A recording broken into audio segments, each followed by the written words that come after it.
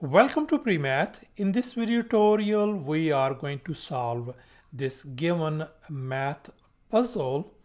So we got a table of four rows and four columns as you can see in this figure and we are supposed to find the value of this cell.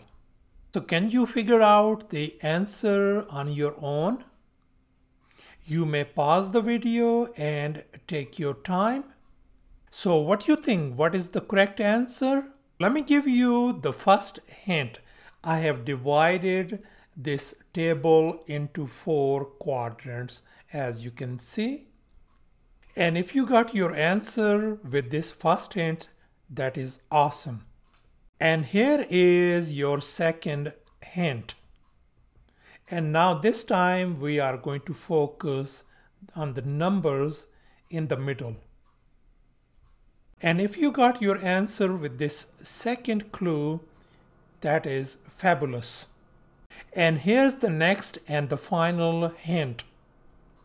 And these arrows means that we must be focusing on the side values.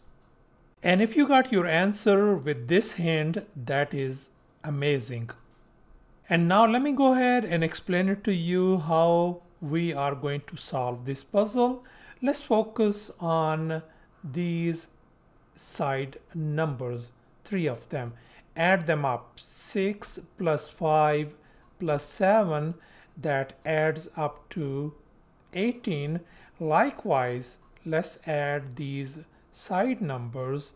If we add them, we are going to get 32 and once again 8 plus 14 plus 9 is going to give us 31 so likewise we are going to add these three numbers 11 plus 3 plus 19 and if we add them we are supposed to get 33 so thus our desired answer turns out to be 33 Thanks for watching and please don't forget to subscribe to my channel for more exciting videos.